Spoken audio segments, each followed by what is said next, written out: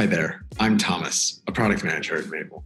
In this session, I'll show you how to create a JIRA ticket from a failed automated Mabl test. I'll also show you how to attach rich diagnostic information to the same ticket so your entire team has a single source of truth. Let's discuss some prerequisites. First, you'll need to have a Mabl account. Second, you'll need to have a Jira software project. And lastly, you're going to need to have the Mabl app for Jira Cloud installed and set up on your Jira instance. Once you have those set up, let's begin. Now that you're in Mabl, you want to take a look at the output page of the test failure you're interested in. Mabl doesn't just report on these failures, but it also provides rich diagnostic data such as screenshots and other detailed logs like Mabl's activity during the test step, the network logs and HAR file, as well as the DOM itself. This is all going to give you the context needed to quickly uncover the root cause of your failure. And in, in this example, we can verify that this is just a simple assertion failure. The text didn't appear as expected. It's now I'm new here rather than sign up, so the assertion actually failed. Since we verified that this is a legitimate issue, let's go create a bug.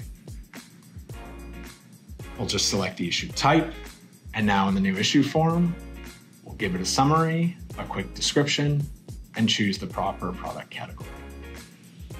Now we're going to send all that information to Jira to create a new ticket from within Mabl.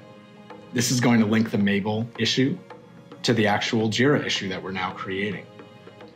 With this, the HAR file, the DOM, the step trace, and the screenshot are all going to be here for anyone to view, and that's what you can see loading now. There's also going to be a link back to the test and test run that we created it from. So now this ticket is really a single source of truth for anyone on my team, regardless of whether or not they actually have access to Mabl since this all lives within Jira and not Mabl. Now, let's imagine I'm the person who's responsible for addressing this issue.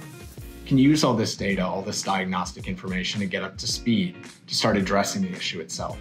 But first, say I want to actually verify that this is failing locally on my machine and not just within Mabl. So I can mark this as in progress. And now when I go down, I can go and I can click on the test and actually view that test within Mabl. Now, within the Mabl app, I can run this locally, get a quick output just to verify that, okay, the test is failing where I've expected it to fail.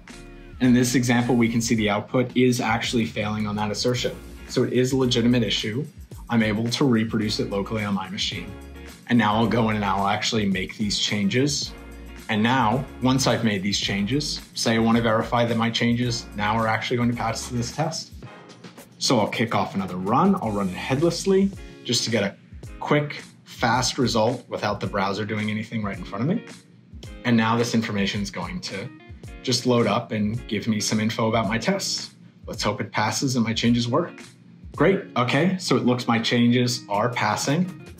Now I can go back and I can move this to the PR stage.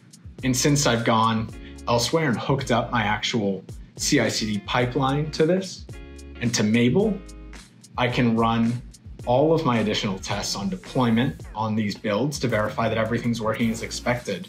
And in the end, I can be confident that my changes aren't introducing any additional issues that may not have been caught by any of reviewers on my PR. So now that's all done. It's made it to prod, and I'm just gonna move it to done.